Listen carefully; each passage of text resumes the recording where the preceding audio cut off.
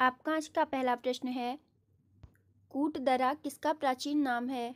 कूट दरा option number C Kotdwar का प्राचीन नाम है। ऑप्शन नंबर सी इसका राइट आंसर हो जाएगा।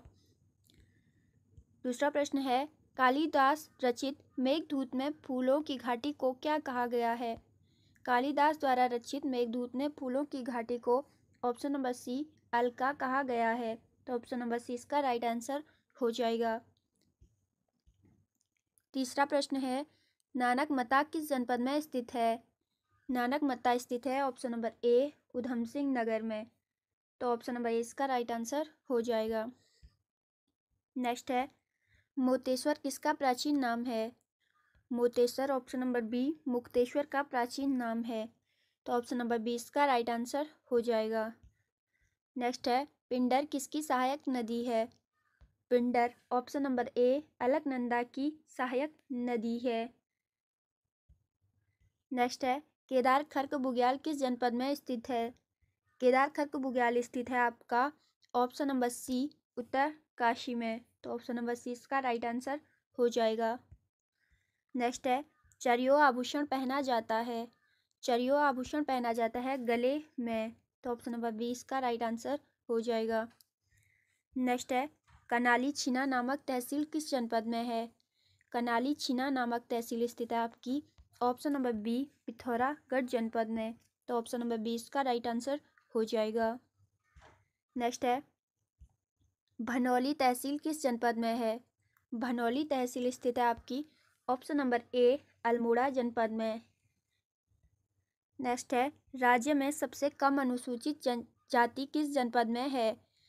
तो इसका जो राइट आंसर होगा ऑप्शन नंबर डी चंपावत में। तो ऑप्शन नंबर डी इसका राइट आंसर हो जाएगा। ग्यारहवा प्रश्न है, सबसे कम अनुसूचित जनजाति प्रतिशत वाला जनपद है। तो इसका जो राइट आंसर होगा ऑप्शन नंबर बी टिहरी।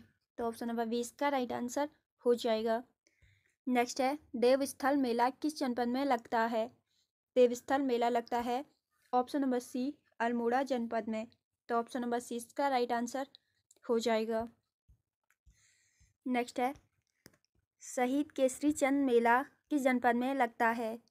शहीद केसरी चंद मेला लगता है, ऑप्शन नंबर ए चौली थात देहरादून में। तो ऑप्शन नंबर ए इसका राइट आंसर हो जाएगा।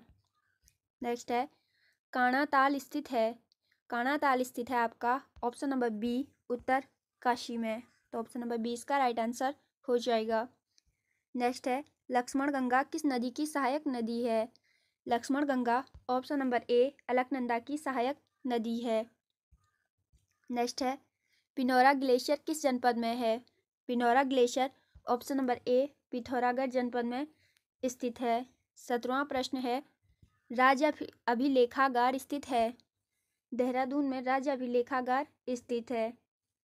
अठारहवां पाँच का आखिरी प्रश्न है, राज्य में पिछौड़ा क्या है? तो जो पिछौड़ा है, वो है आपका गढ़वाली परिधान। तो ऑप्शन नंबर सी इसका राइट आंसर हो जाएगा। तो दोस्तों, ये थी आपकी आज की वीडियो। आई होप आपको वीडियो पसंद आई होगी। वीडियो पसंद आई तो एक लाइक कर दीजिए।